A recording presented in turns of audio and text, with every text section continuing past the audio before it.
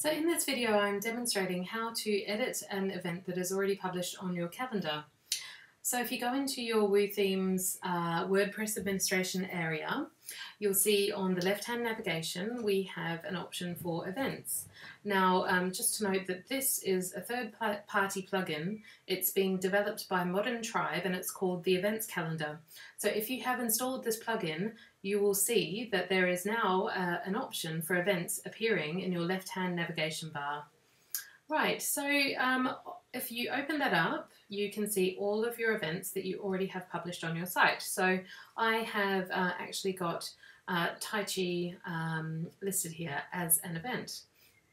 So if I just open that up, I can click on uh, the, the name of the event there, and that brings up my event. So let's just say I want to change the event uh, date, for instance.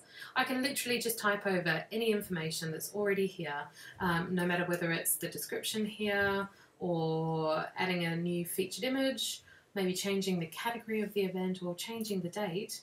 I can easily do that from this screen. So I'm going to change this uh, to be from the 30th of May to the 18th of June. Okay, now if I just update that, so click on the big blue update button.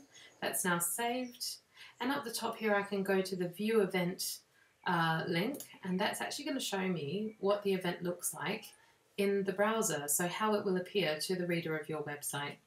So this is my event, and if I just uh, scroll down a little bit, as we can see here, I've changed the event uh, starting date, and that's now the 18th of June. So there you have it, editing your events on your event calendar.